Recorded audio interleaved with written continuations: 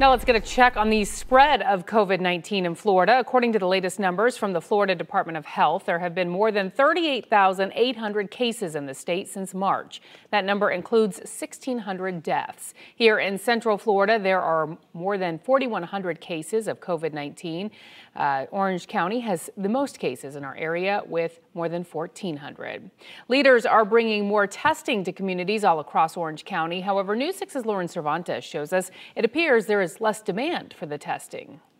This is day one of testing at Legacy Middle School, and in the past, the first day at a new location could draw large numbers, but we haven't seen long lines out here today. So I asked Orange County if this is a trend they're seeing fewer people coming out to these testing sites.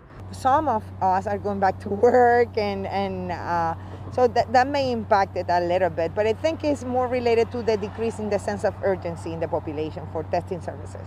Daniela Sullivan is overseeing Orange County Health Services' newest testing site.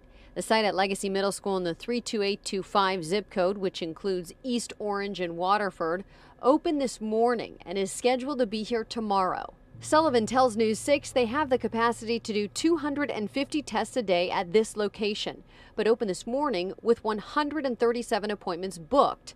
By the afternoon, they were up to 167, still not at capacity.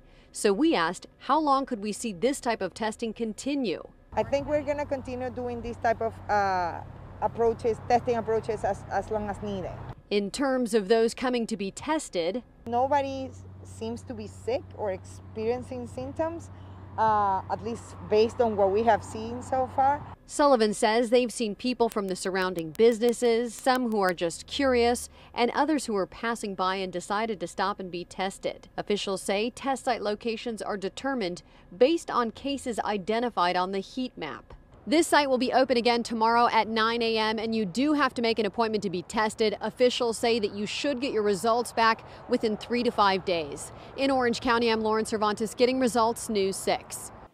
Lauren, thank you. Advent Health also tells News 6 it is seeing a diminished demand for testing, leading it to close several of its drive-through testing sites. Today is the last day of testing at Daytona International Speedway. Tomorrow, the sites at the mall at Millenia and Lake Sumter State College are set to close. Then the sites at Osceola Heritage Park and Posner Park are both set to close on Friday, May 15th. Advent Health still plans to offer testing at its CentraCare clinics. Appointments can still be made for the drive-through sites until they close close. We have a link on clickorlando.com.